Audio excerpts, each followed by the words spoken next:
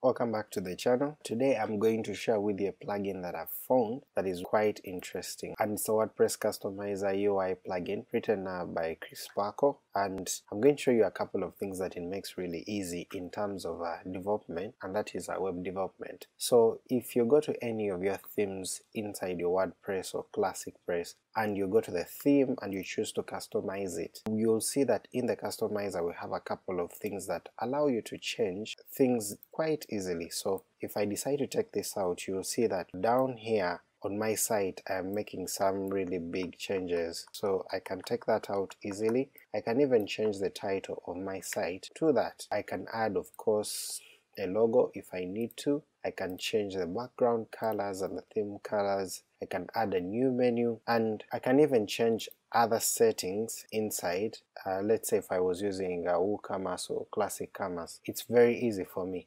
Now, creating more of these simple tools that will allow your site manager to make it easy for them to change is quite an uphill task. For example, if I wanted you to just change this bottom part, in most cases in the footer we have a copyright and copyright statement and a couple of things, but that's hard to change. You have to go inside the code and actually physically change it. Now as a designer, I think this is the tool that li literally leverages everything. So I'm just going to, I'll leave this link inside the description so that you can download it and try it out. So I'll download this as a zip and that is automatically downloaded. I'll go back in my backend and then go to plugins to add a new plugin and then I'll go to upload it, choose browse and then I'll quickly go to the downloads, have it there, install, then activate the plugin. So on installing this we realize we have an error so in order for this plugin to work right now as we're trying to install this, we see, we see that we actually had an error here and that is because we did not install Composer and we are supposed to run Composer on the plugin itself. So to if you don't have Composer you just need to go to composer.org and then download it and install it. Um, there are very clear instructions on how to do this and then you can be able to quickly get up and running. So I'm just going to run Composer on this particular plugin. I've dropped it in here inside my editor and then I'm going to use the terminal in there and I'm going to run Composer install and then Composer will install all the required dependencies and how it knows what dependencies to install is that it uses this composer.json file and you'll see that there isn't so much for it to install apart from the autoload that comes from PHP. So let's go in and install our plugin. So I'll come back here and then I'll activate our customizer user interface and now it is working. So on install you'll see that it actually has an admin section here, so let's visit admin section and you'll see that it asks you to add particular section titles that you want. Now I'll explain what the sections are as we use them. So I'm going to have a section which I'm going to call the footer and then I'm going to create the section, the click of the button, and inside that it's going to ask me for a control. Now for the control inside my footer I'm going to say I want to add credits or I will say the footer credits and I'll use an underscore. Either I'll use one word without a space or I'll use an underscore. Uh, you can clearly see that's what is shared in the placeholder or the field as you put it, so either you have one word or you use an underscore. I'll leave this as one word with a Pascal case and then I'm going to just add the label footer credits or I'll just make it credits for us to quickly identify that.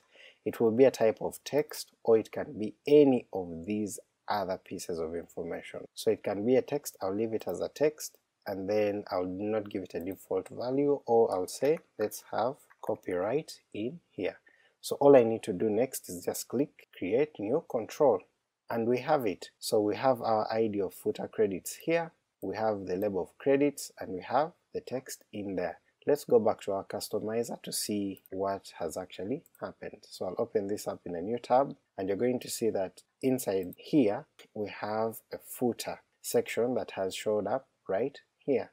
So inside the footer we have our credits which we can change going on from here. So uh, how do we use this inside our theme? currently I'm using the 2017 theme and as a developer I'm going to just insert one piece of code that will allow my website user to reuse this over and over with ease. So first things first is I'm also going to go back to my editor and I'm going to import my theme, so I'll go to WP content, go to the themes, and I'm going to get my 2017. So after importing my 2017 in here, I'm going to go to the footer section, and we'll see that we have just a couple of things in here inside our footer section.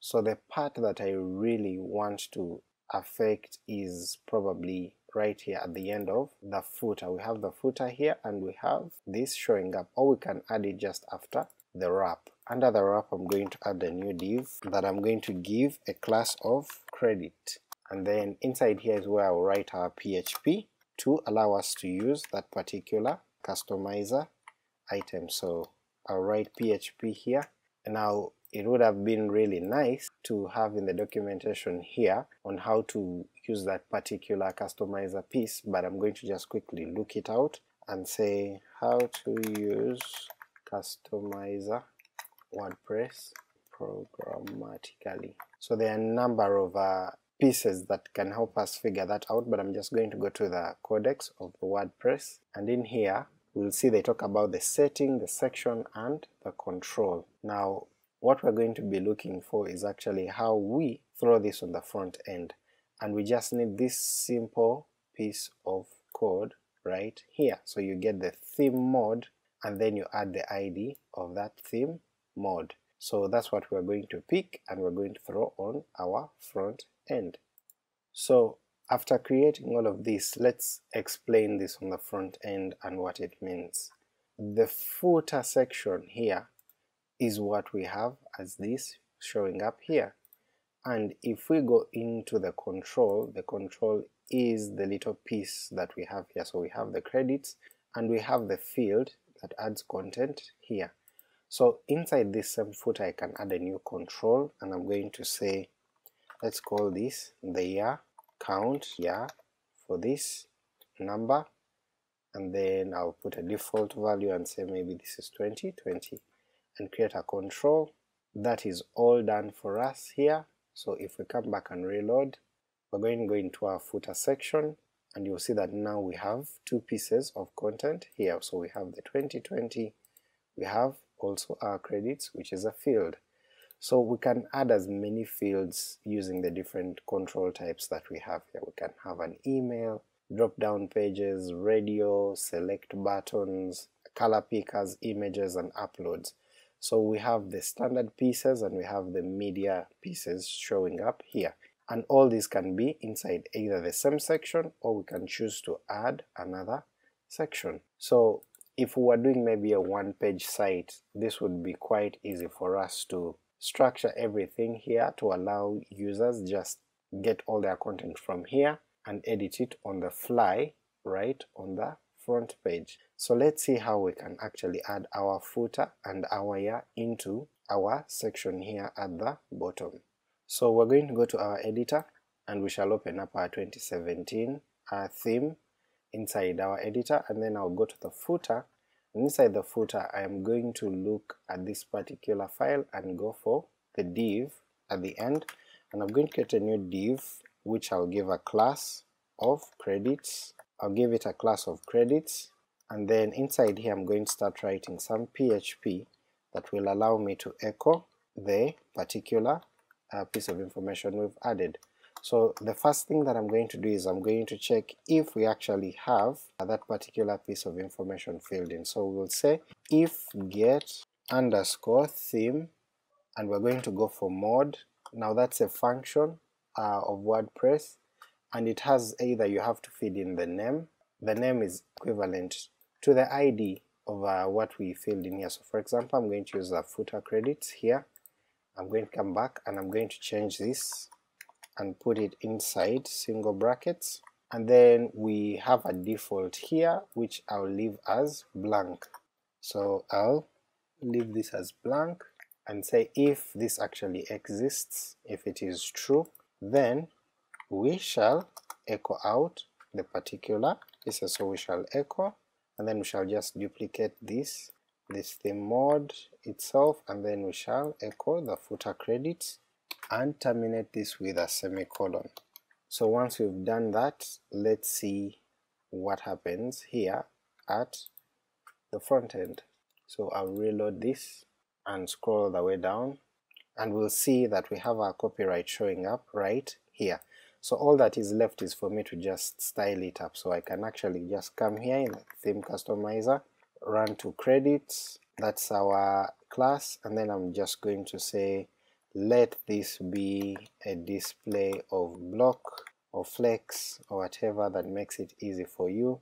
We'll uh, text align and say this is in the center, I'll put a semicolon here to make our code valid. It's in the center and you'll see it right here, and then all I'm going to do is add some padding, and I'll say the top and bottom should be 10 pixels, and then the sides should be 0. So once I we can look at that and see that it's actually working out fine. So maybe I can just add 40 pixels and 0 to allow this to fly off the bottom and make this 0. So we have our copyright actually showing up right here, and we can publish this. So we can also choose to actually concatenate the two footer credits, and also we can choose to get the year itself if we concatenate them.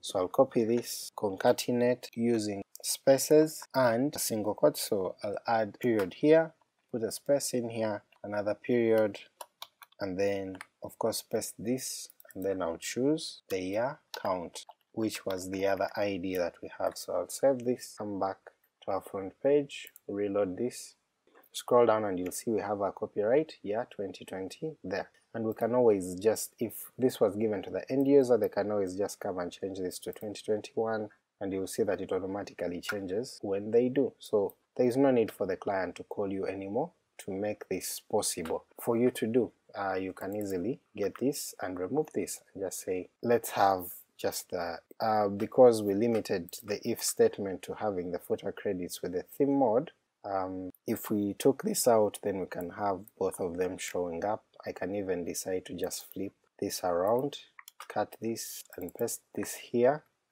and then we can eventually just publish and see how that looks for us on the front end. So we'll reload this, come scroll down, we have that, and we can always just add a footer and say copyright, and then just do our name, business name website, full stop.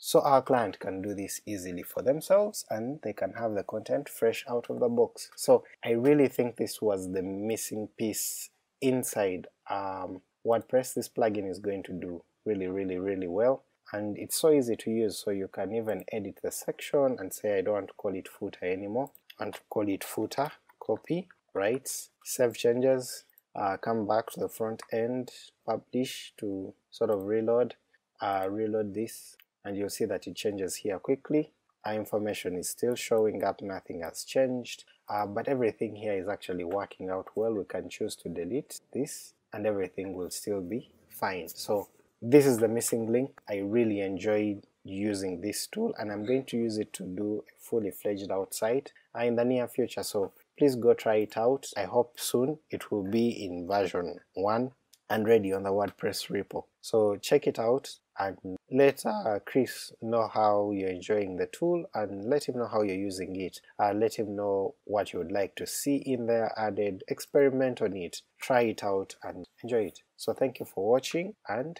enjoy your coding!